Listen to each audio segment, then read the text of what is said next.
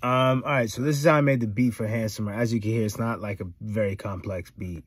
Um, it was really driven by the hook. It was a rare situation where I had that uh, first line, I know I'm fine, but the money made me handsomer. I built the whole beat around that line. So I knew the tempo already. I knew the rhythm. Um, so yeah, let's get into it.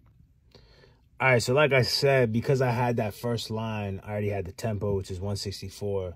And just to kind of, you know, lock it in, did the claps first.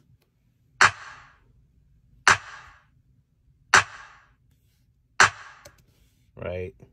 Then the kick.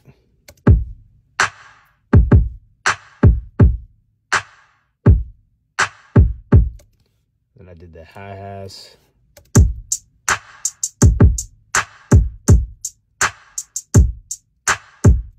And then I knew I wanted just like a fucking ridiculously obnoxious 808. So...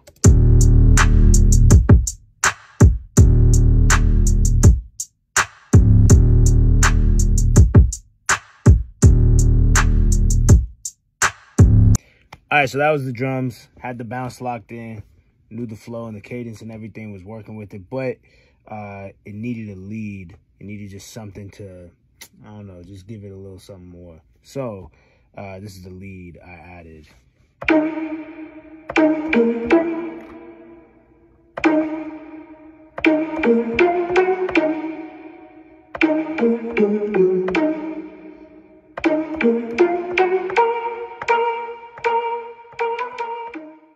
And when you put all that together, I know I'm fine, but the money makes me handsomer.